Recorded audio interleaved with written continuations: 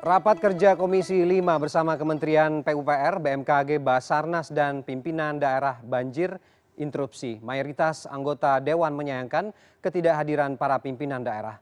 Rapat dihadiri Menteri PUPR Basuki Hadi Mulyono, Kepala BMKG Dwi Korita Karnawati, Kepala Basarnas Bagus Puruhito, Bupati Kabupaten Bogor Ade Yasin, serta perwakilan Gubernur DKI Jakarta Vera Revina. Komisi 5 turut mengundang tiga gubernur yakni Gubernur DKI Jakarta, Gubernur Jawa Barat, dan Gubernur Banten. Namun ketiganya absen dalam rapat.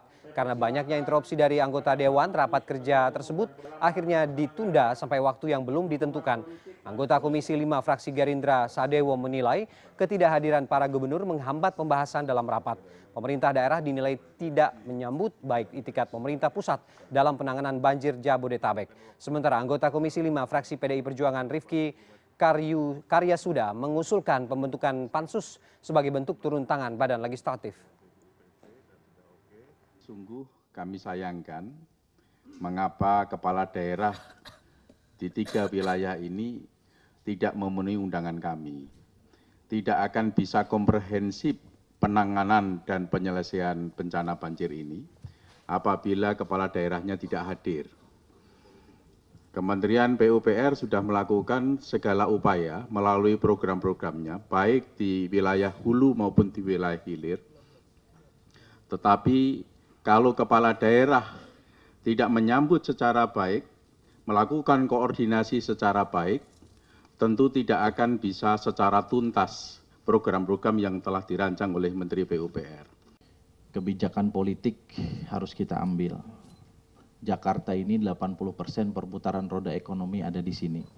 Dan banjir di Jabodetabek nyatanya memang berpengaruh terhadap roda ekonomi dan kehidupan masyarakat kita. Kita melihat ada arogansi kewenangan yang mohon maaf bukan dilakukan oleh mitra kerja kita, kalau PUPR saya kira clear. Dan PUPR ini kami berterima kasih selalu siap sedia untuk rapat kerja dengan kami kapan pun. Tapi ini justru terjadi pada lingkungan pemerintahan provinsi. Ada pemerintah provinsi yang nyata-nyata rakyatnya, jutaan rakyatnya terdampak banjir, tidak mau menetapkan status gawat darurat. Ini sebuah arogansi politik. Karena itu saya kira DPR RI perlu juga menggunakan hak politiknya kita perlu konsultasi dengan pimpinan dpr dan komisi yang lain. Apakah misalnya relevan untuk kita bentuk pansus dalam konteks banjir jabodetabek ini